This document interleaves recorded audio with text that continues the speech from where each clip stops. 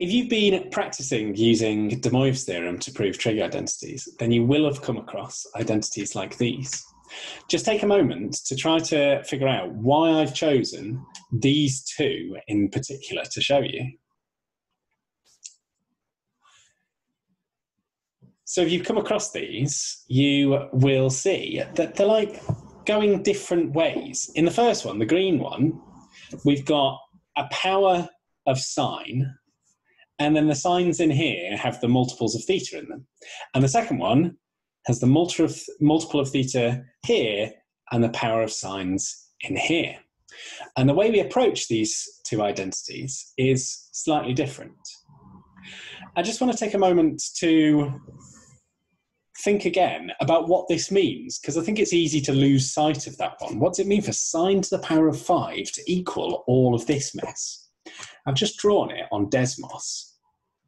So there I have sine to the power of 5 graphed. It's a nice little graph there, like shark toothy going up and down.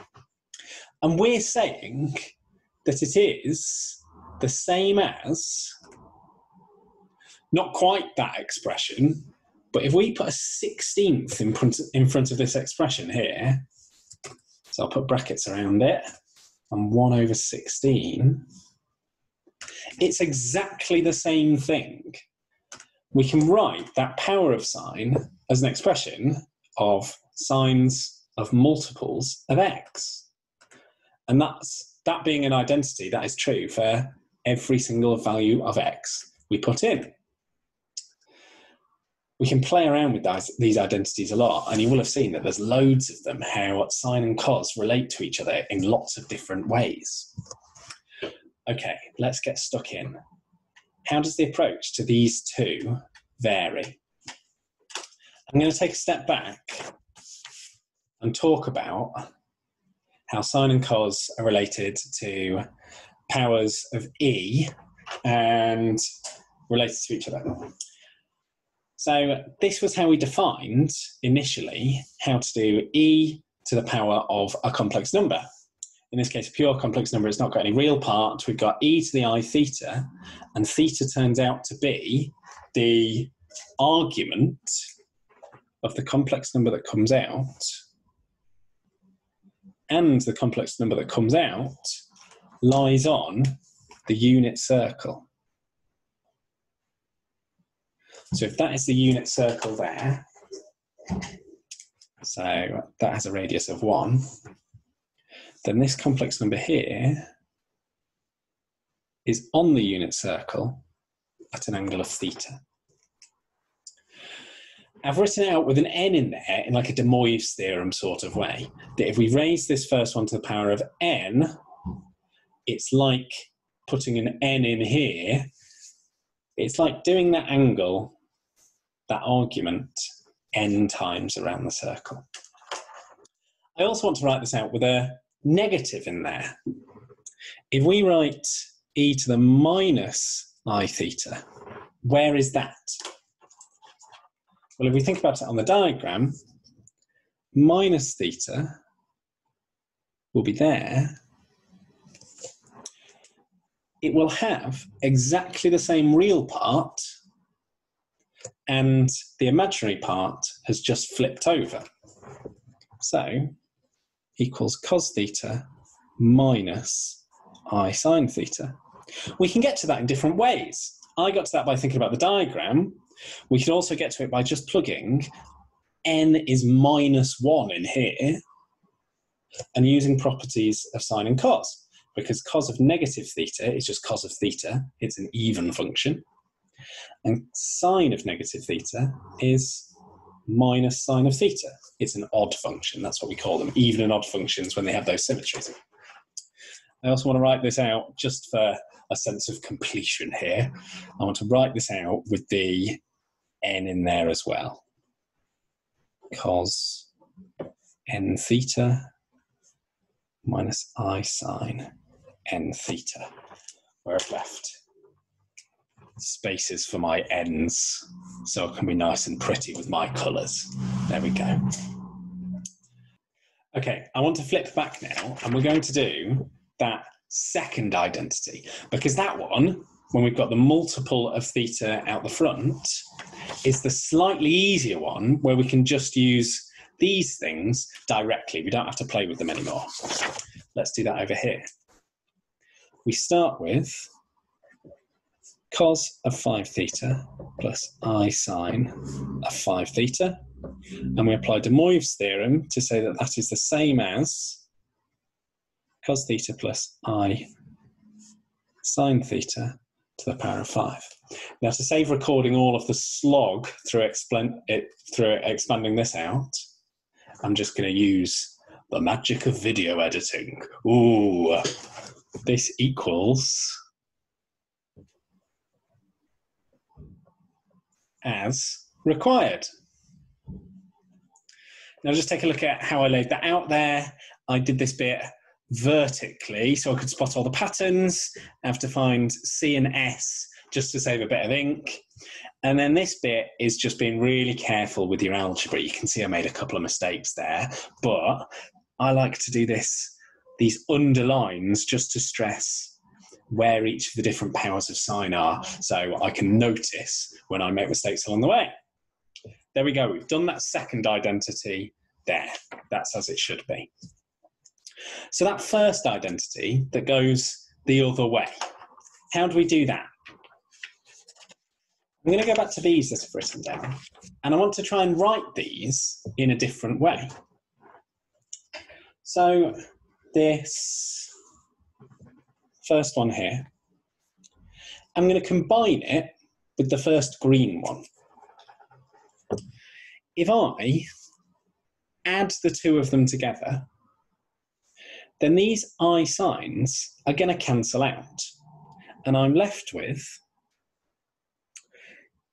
e to the i theta plus e to the minus i theta equals two lots of cos theta. I'm going to write that slightly more neatly by putting that 2 instead of over here.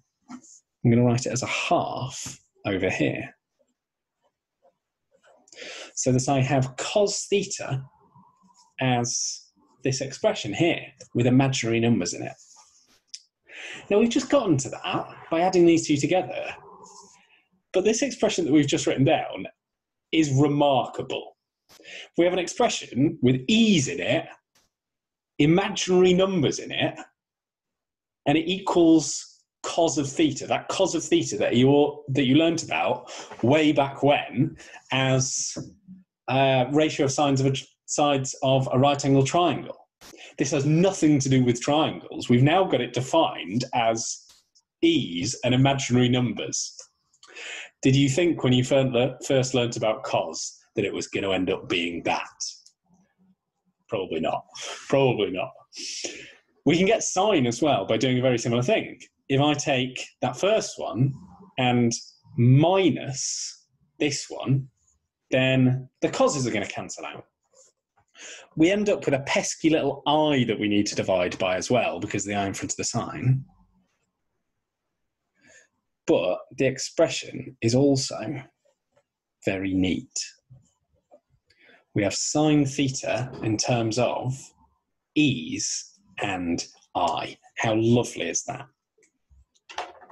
Now, these are sometimes written in terms of a z, where we define if z is e to the i theta, then we can also write these as, well, this is z here,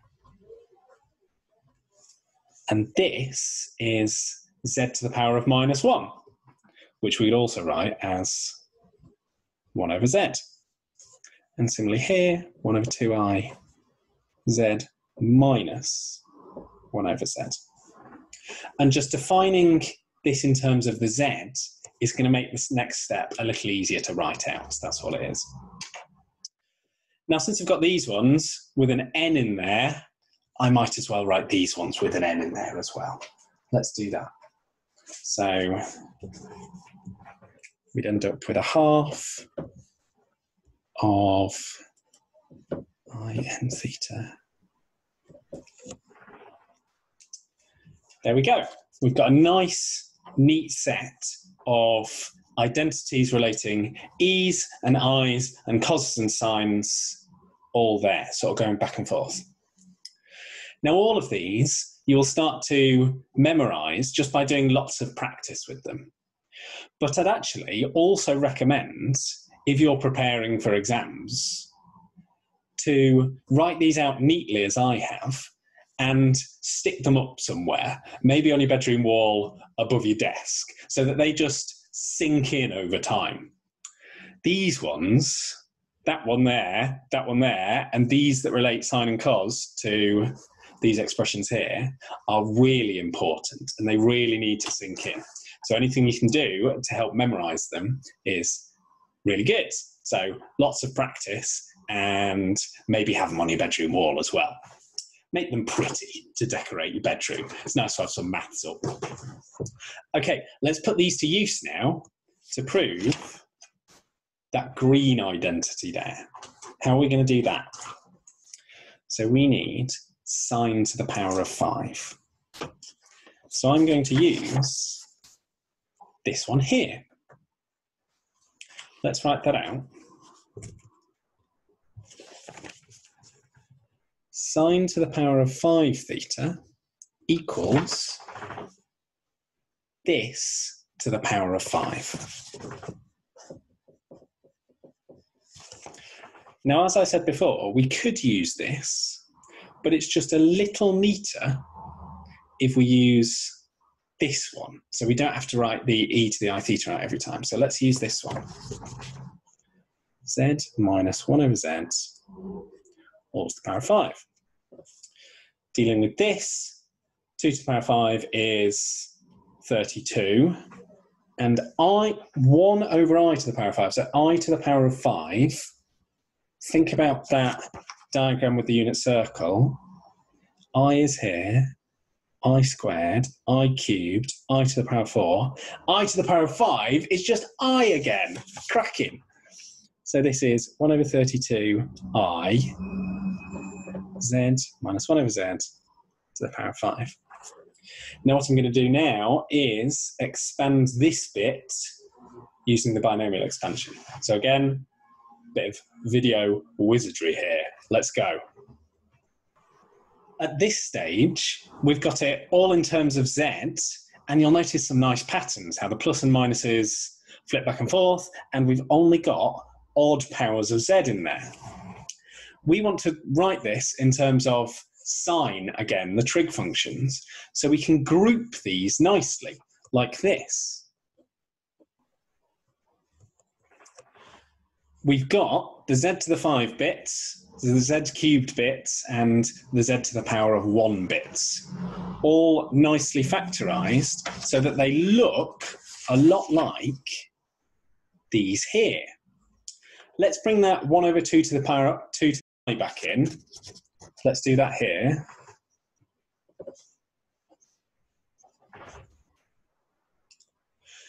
So I've used one of the twos out of the 32, so that's become a 16, and I've brought that 1 over 2 i back in here, here, and here, so that I can use this and write it in terms of sine again. So we end up with a 16th. This bit is sine of 5 theta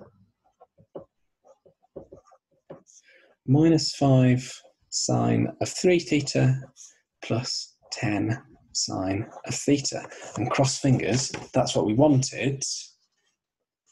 Over here, it's exactly that. Fantastic. Now that there is quite a lot of steps, and especially some fiddles around here, it's easy to make some mistakes. So it's up to you now to practice this. Could you just find a similar expression for sine squared, sine cubed, sine to the power of 4, sine to the power of 6, etc., etc., etc., and do the same for cos? cos squared, cos cubed, cos to the power of 4, etc., etc., etc. That's loads of good practice that you can do yourself. And a good way of checking that is to get back on Desmos and just to plug them in. If you do sine to the power of 4, you can type in sine x to the power of 4 type in the other ident- other expression that you find and see whether those graphs match up. That's some really good practice that you can do on your own. Good luck with that. And as I say, let all of these sink into your mathematical brain. They're really nice. Good luck.